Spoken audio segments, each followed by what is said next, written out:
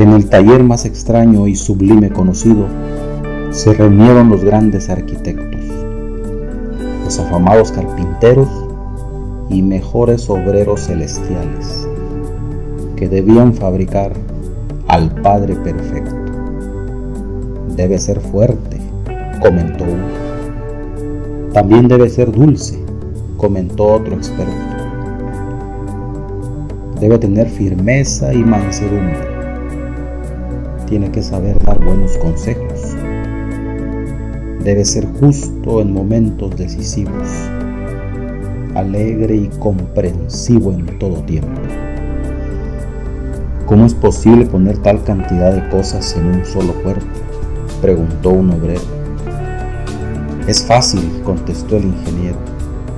Solo tenemos que crear un hombre con la fuerza del hierro y corazón de caramelo. Todos rieron ante la ocurrencia y se escuchó una voz. Era el maestro, dueño del taller del cielo. Veo que al fin comienza, comentó sonriendo. La tarea no es fácil, es cierto, pero no es imposible al poner interés y amor en ello. Y tomando en sus manos un puñado de tierra, comenzó a darle forma. ¿Tierra? preguntó sorprendido uno de los arquitectos.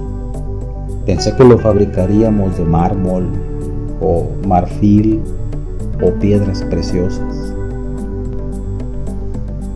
Este material es necesario para que sea humilde, le contestó el maestro.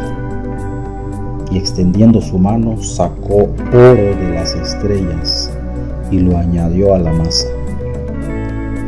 Esto es para que en las pruebas brille y se mantenga firme. A esa masa de tierra también agregó amor y sabiduría. Le dio forma le sopló de su aliento y cobró vida, pero le faltaba algo, pues en su pecho le quedaba un hueco. ¿Y qué pondrás ahí? preguntó uno de los obreros.